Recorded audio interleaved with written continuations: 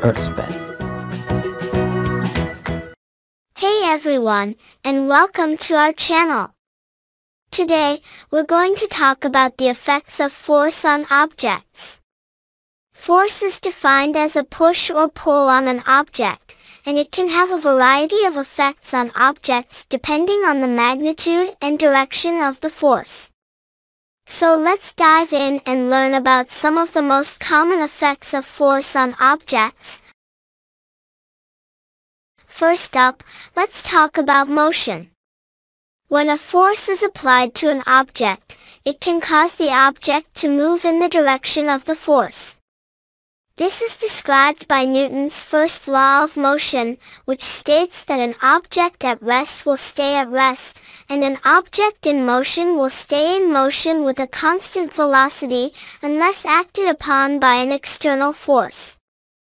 This means that if a force is applied to a stationary object, it will begin to move, and if a force is applied to a moving object, it will change its speed or direction, Next, let's move on to deformation.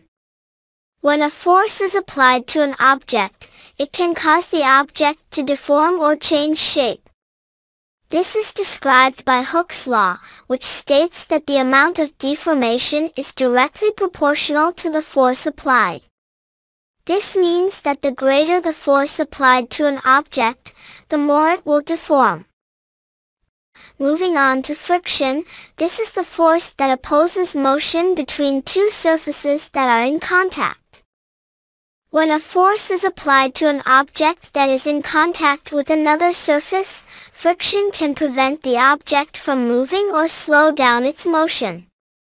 This effect is particularly important in engineering and design, as it is necessary to consider friction when designing machines and structures to ensure that they work properly. Finally, let's talk about acceleration. When a force is applied to an object, it can cause the object to accelerate, which is defined as a change in velocity over time. This is described by Newton's second law of motion, which states that the acceleration of an object is directly proportional to the force applied and inversely proportional to its mass. This means that the greater the force applied to an object, the greater its acceleration, and the more mass an object has, the less it will accelerate for a given force, these are just a few examples of the many effects of force on objects. It's important to understand these effects in order to design and engineer machines and structures that work properly, as well as to understand how everyday objects and phenomena work. So next time you apply force to an object, remember that it can have a variety of effects depending on the situation. That's it, this is Earth Pen.